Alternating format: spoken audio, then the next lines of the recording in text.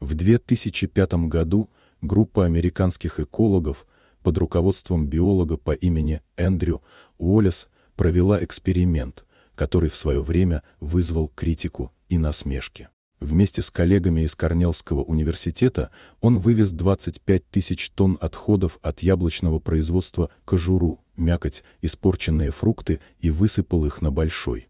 Заброшенный участок земли в южной части Айовы, где раньше был вырублен лес под сельхозугодья, но земля осталась неиспользуемой.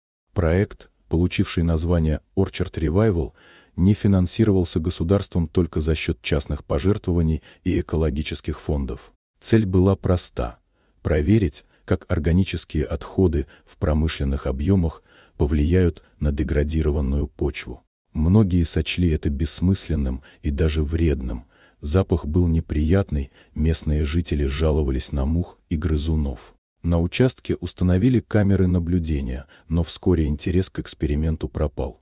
Спустя несколько лет территория начала медленно изменяться. Сначала появились дикие травы, затем кустарники. Почва, когда-то серая и твердая, стала рыхлой и насыщенной перегноем. Остатки яблок разложились, и место стало привлекать птиц, насекомых и мелких животных. Процесс шел медленно, и команда Эндрю прекратила активное наблюдение, оставив только редкие замеры раз в несколько лет. Прошло 20 лет. В 2025 году молодая ученая по имени Рэйчел Скотт, студентка-эколог из Мичигана, случайно наткнулась на архивные материалы об этом эксперименте и решила посетить ту самую точку. То, что она увидела, превзошло все ожидания.